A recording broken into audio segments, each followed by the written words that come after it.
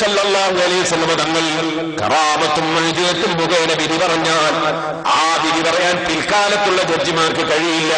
അതുകൊണ്ട് കോടതിയിൽ ജനങ്ങൾക്ക് മാതൃകയാകാൻ വേണ്ടി ജഡ്ജിമാർക്ക് മാതൃകയാകാൻ വേണ്ടി അവിടെ മൈജിയത്ത് പ്രകടിപ്പിക്കുന്ന രംഗമല്ല കറാമത്ത് പ്രകടിപ്പിക്കുന്ന രംഗമല്ല. അവിടെ അതാ സാക്ഷി വിസ്താരം നടത്തി വിധി പറയുന്ന രംഗമാണ്. അതുകൊണ്ടാ പറഞ്ഞത്. അതുകൊണ്ടാണ് ഇക്കാര്യം പറഞ്ഞത്. കൊണ്ടാണ് ഹദീഫിൽ ഒരിക്കലും പറഞ്ഞിട്ടില്ല. സെലഫി പറഞ്ഞ വാചകം ഹദീഫിലില്ല സെലഫി പറഞ്ഞത് എനിക്ക് അത്രയല്ലേ കഴിയൂ നബി പറഞ്ഞുവെന്നാണ് അത് പച്ചക്കള്ളം റസൂള്ളാന്റെ മേലിൽ വെച്ച് കെട്ടിയതാണ്. ഹദീഫിലുള്ളത് ഞാൻ വായിക്കാം. ഇന്നമാ അനബസറും ഞാൻ മനുഷ്യൻ മാത്രമാണ്. മലക്കല്ല ജിന്നല്ല ദൈവമല്ല ദൈവപുത്രനല്ല. ഞാൻ മനുഷ്യൻ മാത്രമാണ്. എന്തുകൊണ്ടാണ് ഇത് പറയാൻ കാരണം? മനുഷ്യന്മാർക്ക് വിധി പറയാനാ ഞാൻ കോടതിയിൽ ഇരിക്കുന്നത്. മനുഷ്യന്മാർക്ക് മാതൃകയാകാനാ ഞാൻ കോടതിയിൽ ഇരിക്കുന്നത്. അതുകൊണ്ട് ഞാൻ മലക്കല്ല ഞാൻ ജിന്നല്ല. മനുഷ്യൻ മാത്രമാണ്. വൈന്നക്കും തഖ്തസിബൂന ഇലയ്യ. നിങ്ങൾ പലരും എന്നോട് തർക്കം എന്ന് പറയും. പലരും വാദിയും പ്രതിയുമാകും.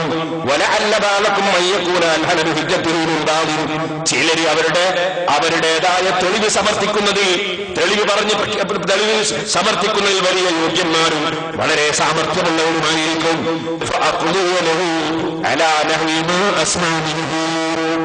ഞാൻ കേൾക്കുന്നതനുസരിച്ചാണ് വിധി പറയുക. എനിക്കറിയില്ല എന്നല്ല. ഞാൻ സാക്ഷി വിസ്താരം കേട്ടിട്ട് ആ വിസ്താരത്തിൽ വാദിയുടെയും പ്രതിയുടെയും വാചകങ്ങൾ കേട്ട് സാക്ഷിയുടെ വിസ്താരം കേട്ട് കേൾവി അനുസരിച്ചാണ് ഞാൻ വിധി പറയുക. മൊയ്ജിയത്ത് മുഖേനയല്ല വിധി പറയുക. കറാമത്ത് മുഖേനയല്ല വിധി പറയുക. മൊയ്ജിയത്ത് മുഖേനയാണ് മനസ്സിന്റെ ഉള്ളിലെ കാഴ്ച. അതനുസരിച്ചല്ല ഞാൻ വിധി പറയുക. ഞാൻ ഈ സാക്ഷി വിസ്താരം കേട്ടിട്ടും വാദിയുടെയും പ്രതിയുടെയും വാദം കേട്ടിട്ടും അതിന്റെ അടിസ്ഥാനത്തിലാണ് വിധി പറയുക. ഫമൻ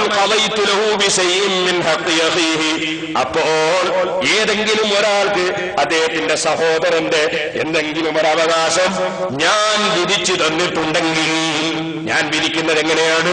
ഞാൻ മൊഴിജത്ത് മുഖേന മനസ്സ് വായിച്ചിട്ട് വിരിക്കുന്ന ഏർപ്പാട് എനിക്കില്ല. കഴിയാഞ്ഞിട്ടല്ല കഴിയുമെന്ന് നേരത്തെ നമ്മൾ തെളിയിച്ചിട്ടുണ്ട്. കഴിയാഞ്ഞിട്ടല്ല. എനിക്ക് വിധി പറയുമ്പോൾ എന്റെ സമീപനം അങ്ങനെയല്ല. സാക്ഷി വിസ്താരം കേട്ട് വാദിയുടെയും പ്രതിയുടെയും വാചകം കേട്ട് കേൾവിയുടെ അടിസ്ഥാനത്തിലാണ് ഞാൻ വിധി പറയുക.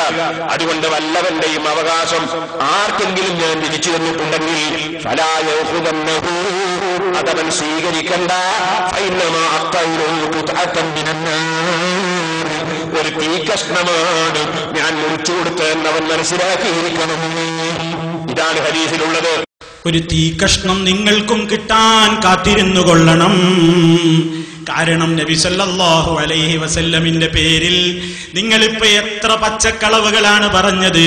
നിങ്ങളുടെ പ്രസംഗം ആ വിഷയത്തിൽ മുഴുവനും അവിടെ കേൾപ്പിച്ചിരിക്കുകയാണ്. കുറച്ച് സമയം പോയാലും വിരോധമില്ലെന്ന നിലയ്ക്ക് ആളുകൾ അതൊന്നറിയാൻ വേണ്ടി. ഇവിടെ ഇപ്പൊ എന്താ നിങ്ങൾ സ്ഥാപിച്ചത്? ഇവിടെ നിങ്ങൾ സ്ഥാപിച്ചത് എന്താണ്? അള്ളാന്റെ റസൂലിന് ഒക്കെ അറിഞ്ഞിട്ടാണ് പോലും രണ്ടു കൂട്ടരും മുമ്പിൽ വന്നു നിൽക്കുമ്പോ ആരുടെ ഭാഗത്താണ് നീതി? ആരുടെ ഭാഗത്താണ് ന്യായം എന്ന് റസൂലുള്ളാക്കറിയാം പക്ഷേ അത് അറിയുന്നത് മൊഴിസത്ത് മുഖേനയാണ്. പക്ഷേ മൊഴിസത്ത് മുഖേന വിധിക്കാൻ പാടില്ലല്ലോ. അറിയാത്തത് കൊണ്ടല്ല. അറിയാൻ കഴിയാത്തത് കൊണ്ടല്ല. അതറിഞ്ഞിട്ടും അള്ളാഹുവിന്റെ റസൂൽ സാക്ഷി മൊഴി അനുസരിച്ച് വിധിക്കുന്നു എന്നല്ലേ?